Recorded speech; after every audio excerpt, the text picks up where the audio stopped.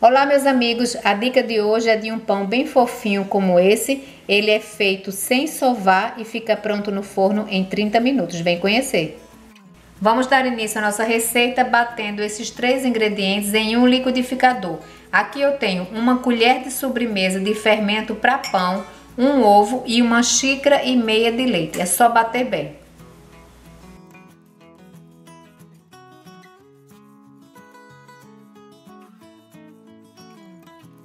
O nosso líquido já está bem batido. Vamos reservar aqui por alguns minutos.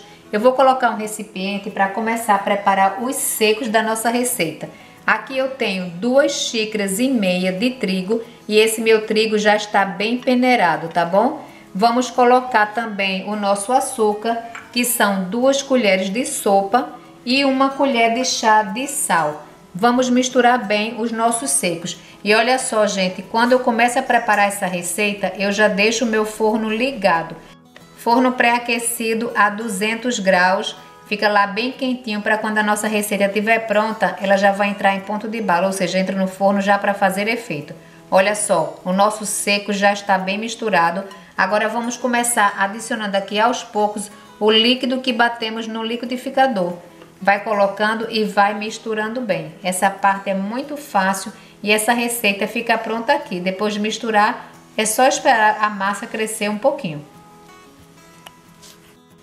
Olha só, vai dando uma liga aos poucos, vai colocando todo o líquido e misturando bem, sem nenhum segredo. É uma receita tão rápida e a finalização dela fica linda, vocês vão ver.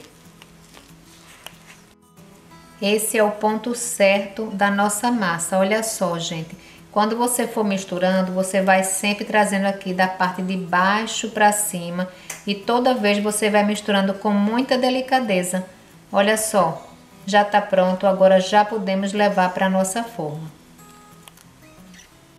Vamos colocar a nossa receita do pão aqui em uma forma. Eu untei a minha forma com manteiga e passei trigo peneirado. Agora é só colocar toda a massa aqui, gente, sem nenhum segredo. Vamos lá. Agora vamos esperar mais ou menos uns 30 minutos para que a nossa massa possa crescer. A massa do meu pão já cresceu bastante, agora já posso levar para o forno.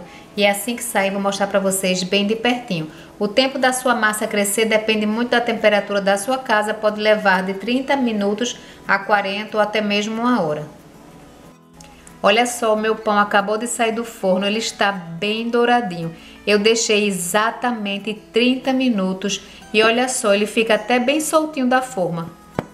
Tá vendo o barulhinho? A gente sacode aqui. Na lateral ele tá até bem soltinho. Você pode desvirar com tranquilidade. E eu vou desvirar assim quentinho mesmo, tá bom? Aqui tá a parte de baixo dele. Gente, ele tá tão quente. Mas eu vou desvirar aqui novamente. Para quando ele esfriar um pouco, eu já poder cortar e mostrar para vocês. Ficou lindo e tá bem cheiroso.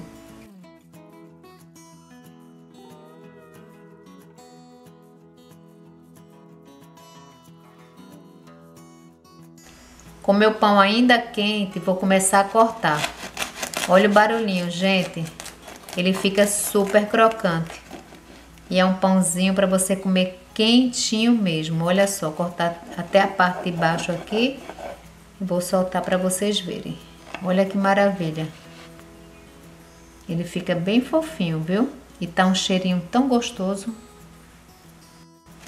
Vou fazer aqui o segundo corte para vocês verem. É porque tá muito quente, mas eu amo comer pão quentinho, então a gente vai arriscar e sabe que vai dar certo. Receita gostosa. Gente, que massa tão fofinha. Olha só. É um pãozinho para dar água na boca mesmo, né? Bom, fiz alguns cortes aqui só para vocês verem. Gente, que receita gostosa. Ela fica tão fofinha, olha só. E olha que ela está bem quentinha. Então, um pãozinho desse com manteiga e um cafezinho, eu tenho certeza que é tudo que você quer na sua mesa. Essa receita não é prática?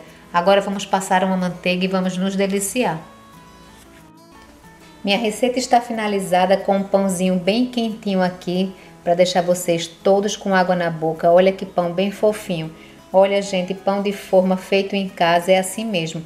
E a gente passa uma manteiga E olha como ele fica, bem molhadinho, porque ele está bem quentinho. Espero que todos vocês tenham gostado. Essa minha receita vale a pena ser feito e no forno ela fica pronta tão rapidinho, né? Só são apenas 30 minutos.